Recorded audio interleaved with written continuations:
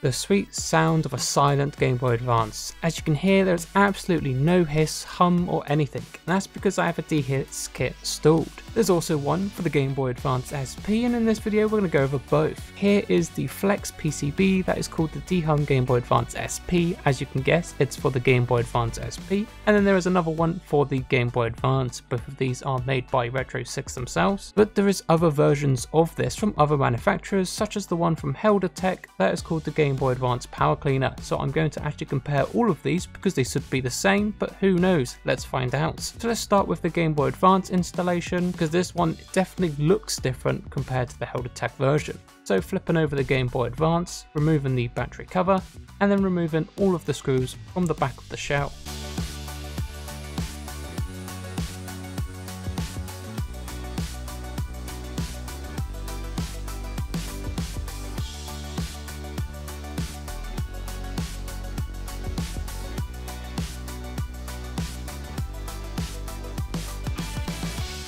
With all those screws removed, you can remove the rear half of the shell and luckily this is as far as we need to go because we only need to concentrate our efforts on this area on the right to install the HISS kit. Some of the points we'll be connecting to are the following capacitors, some of these can be quite tricky, but the most painful one is probably the battery terminal because it takes up so much heat. To install, simply place your Flex PCB over the area, making sure to line up to all the previously pointed out points, and then you want to tack it in with a soldering iron. When tacking in, something to note is the joints won't be perfect, but it's just to hold the actual thing in place.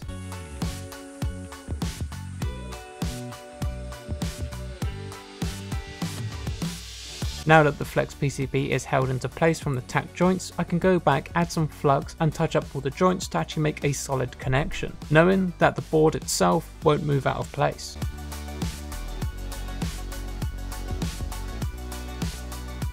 If you're enjoying this video so far, don't forget to hit like and subscribe and turn on the bell for notifications.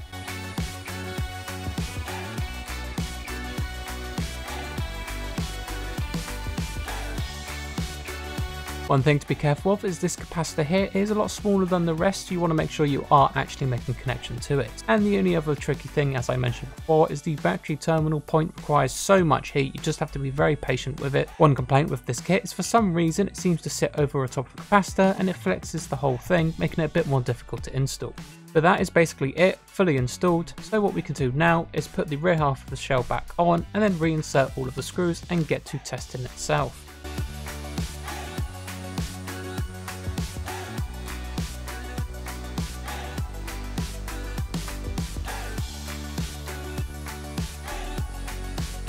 The first audio sample I'm going to do is playing Spyro music before any installation has taken place. Then I'm going to follow it up with just turning on the Game Boy and not playing any music at all and just checking for the background noise.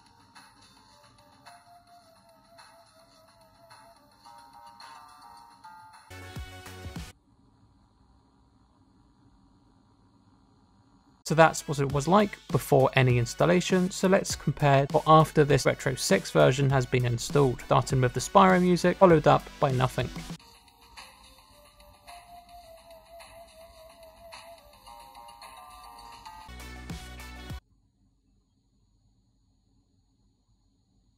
As you can see, or should I say here, there was a slight difference when there is nothing playing, there is a lot of background hum and hiss removed, but I personally didn't notice anything when the Spyro music was playing. However, here is the audio sample for if you installed the Helder mod version, which I have done previously if you want to see the video on that. In the top right corner now will be the iCard for that.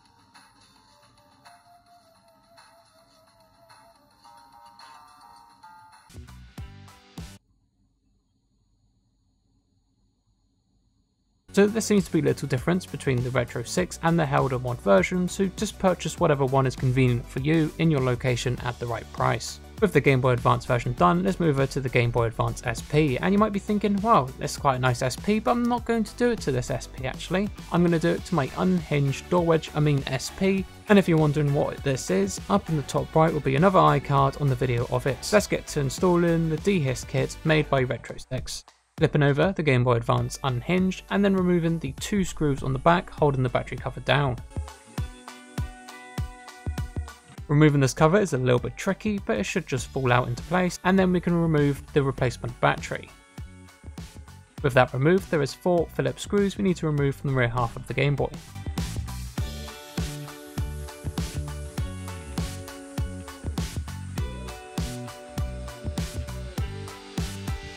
With those removed, we can then just lift this off, and luckily, just like the Game Boy Advance, this is as far as we need to go. As you can see, I actually have the Helder version still in place, and it looks extremely similar to the RetroSix version, so I doubt there's any difference, but there's only one way to check, and that's to install this one. So let's desolder the Helder version. To do that, I'm just going to apply my soldering iron onto the joints, and then carefully lift up the flex PCB until it breaks contact.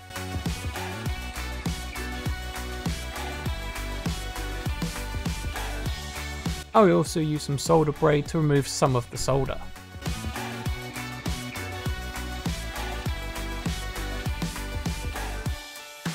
Now we can simply lift up the Helder version and insert the RetroSix version.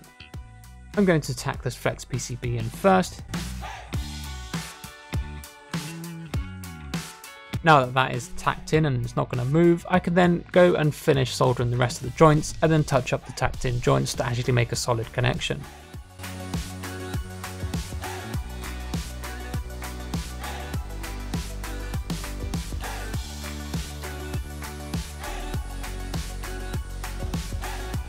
And there we have it, this one is all soldered in, so overall I think this is a harder one to install compared to the Game Boy Advance. However, let's put the rear half of the shell back on and insert the four Phillips screws to secure it down.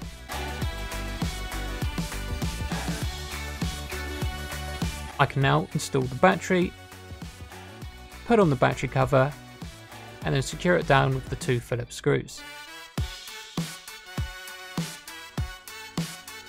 With that all secured down, we can now get to the testing part. Similar to the Game Boy Advance, I'm actually going to show three different versions, the original sound, the RetroSix version sound, and the Helder Tech version sound. So starting with before anything was installed, I'm going to play some audio, and then followed up by no audio at all, to see if there's any background noise coming from the Game Boy Advance SP.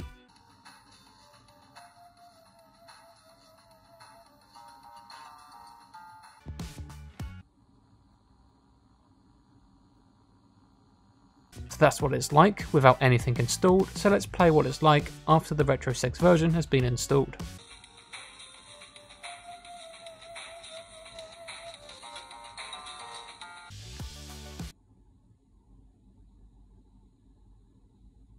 So as you can hear, some of the background noise is significantly cleaned up, but during the actual music I couldn't hear any change. Now let's go over to the Helder version, see if there's any difference between the RetroSix and the Helder version.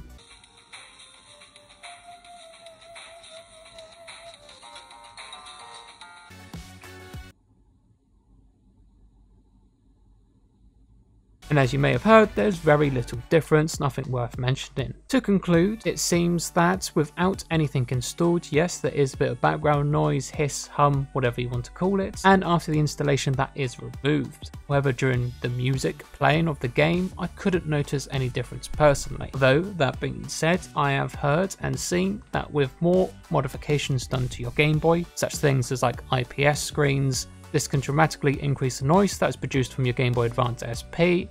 Let me know your thoughts in the comment section regarding these two mods. I know it can sometimes be quite unpopular, these hiss removal or power cleaner mods, but let me know, I'd love to hear your thoughts on why this is useful or why it's not useful.